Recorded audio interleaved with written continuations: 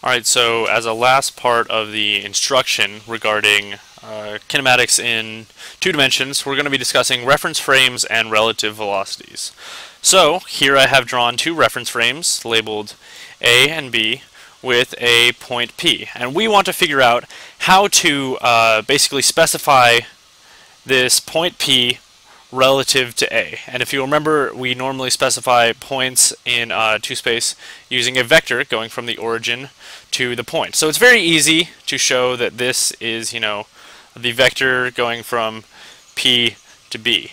However, going from A to P, or showing the vector going from A to P is hard if A has some relative velocity relative to P and B.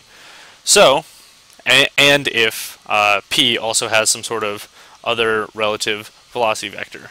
So, what we do, here we can draw that vector going from uh, A to P, but it's hard to uh, calculate this vector without an intermediate step. And the way we do that is by uh, calculating the vector that connects these two reference frames.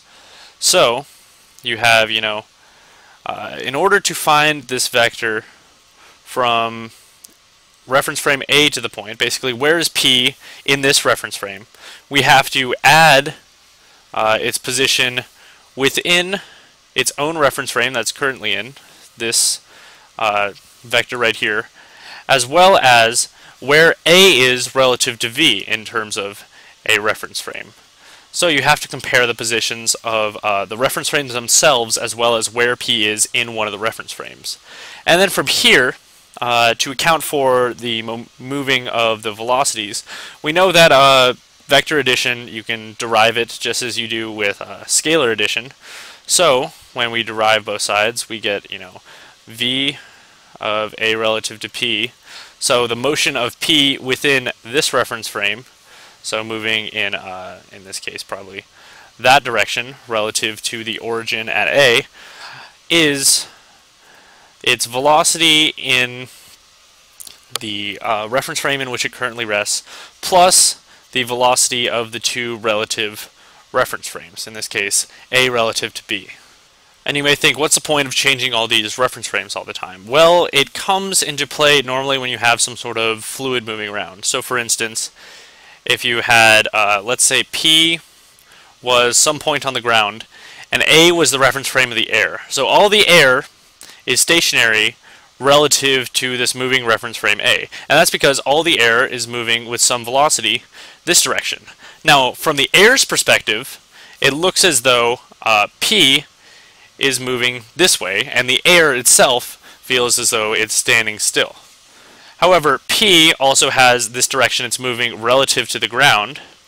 So, to factor that in and figure out what P's actual movement is relative to uh, the air velocity, which is moving this way relative to B, all you have to do is add the vectors as we've drawn here. And if you didn't want to do this in terms of, you know, angles relating each of the various vectors, you can instead do it with the components. So if you add up the x and y components of P's motion relative to its initial reference frame in B, as well as the uh, motion in either dimension of the two reference frames of uh, relative to one another, you can get V's reference frame in the other. So moving on now, we're going to do a sample problem with uh, reference frames and relative velocities. So in this case, we have a plane and some wind, just as we do with the hypothetical example we previously discussed. So in this case, the plane moves with velocity vector described here, 200i plus 20j, and the wind moves with a time-dependent velocity vector. You can see the t's in here, uh, 20ti minus 30t squared j. And our objective is to find the plane's displacement after one hour relative to the ground. And so, as we learned before, displacement, delta r, is simply uh, the integral of your velocity vector with respect to time. And how do we find the plane's total velocity vector for each, uh, basically relative to the ground, taking into account the wind? And what we have to do is just add the components, as we discussed uh, very recently you remember you add the two Vx components and the two Vy components to get your overall sort of Vx and Vy. So now, to get our displacement, we displacement rather, we integrate from uh, time t equals 0 to 1 hour uh, with respect to the vectors 20t plus 200 because you have 20t here and 200 up there i and uh, you have negative 30t squared plus 20 j.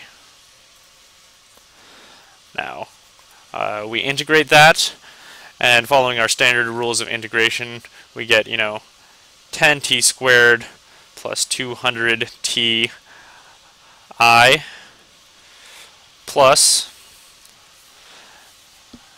negative 10t cubed plus 20t j, all from 1 to 0. And then just plugging in the 1 for everything, we get 10 plus 200, and then negative 10 plus 20. So we get our final vector is 210i plus 10j in net displacement. And you can find the total distance covered simply by doing the Pythagorean theorem with uh, 210 down here and 10 over here. So that concludes our coverage of reference frames and relative velocities. In the next video, we're going to be doing uh, more projectile motion practice as well as some circular motion practice just to round out uh, our coverage of kinematics in two dimensions.